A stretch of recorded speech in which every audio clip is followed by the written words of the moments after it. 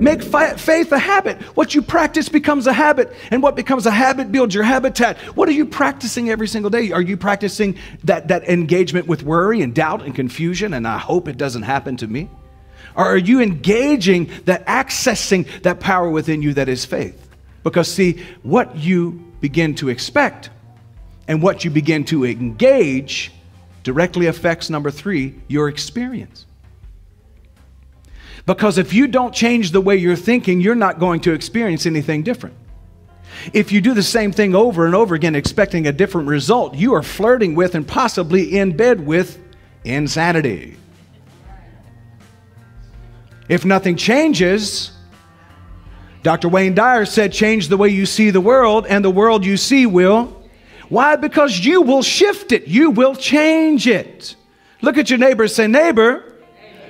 Be the change you want to see.